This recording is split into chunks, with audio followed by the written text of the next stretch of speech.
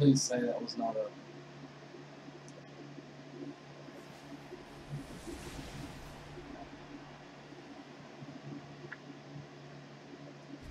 Fuck you, bitch.